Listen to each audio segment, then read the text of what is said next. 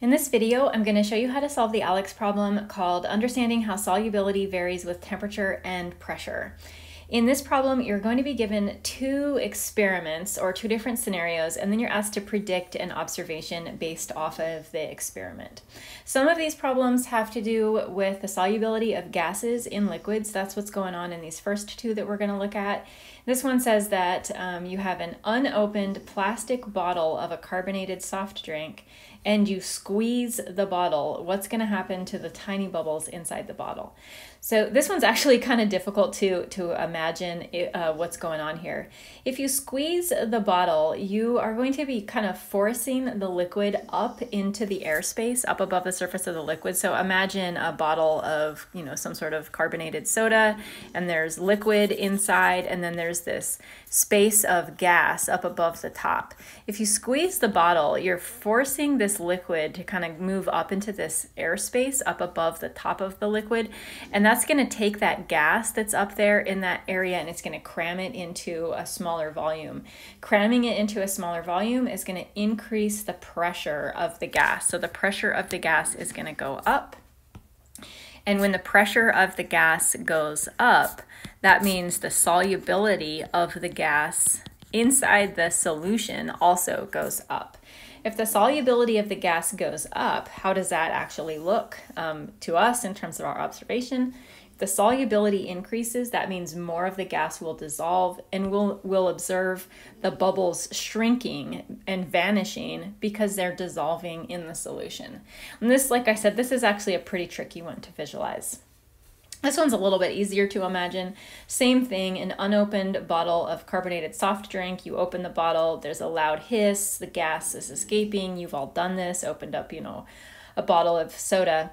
Um, when you do that, so when you have your, your bottle of soda, and that's a really bad bottle, and it's full of liquid, and you've got your pressure, your gas of CO2 in this space up above. When you open up the lid, the CO2 gas escapes the pressure of the gas inside the container goes down, and this means the solubility of the gas inside the beverage also goes down.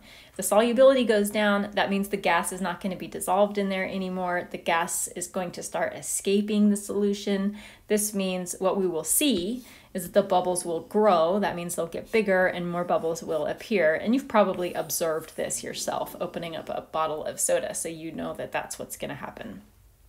Let's look at a couple more examples, different situations. Um, this one we have this is a lot of words right here. This is another gas one down here. So let's do this one first because we're thinking about gases and liquids right now. This says we have two unopened cans of carbonated water. Can a is in the garage at 32 degrees celsius. Can b is in the fridge at 8 degrees celsius.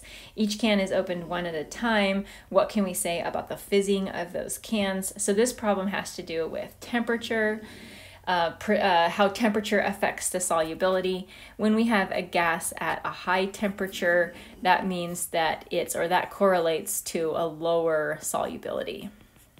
The solubility of a gas decreases as temperature increases. And if we have a low temperature, that means that we have a higher sol solubility. Solubility. So for our for our gas that is colder, the 8 degrees, that beverage is colder, which means that it has a greater solubility of gas.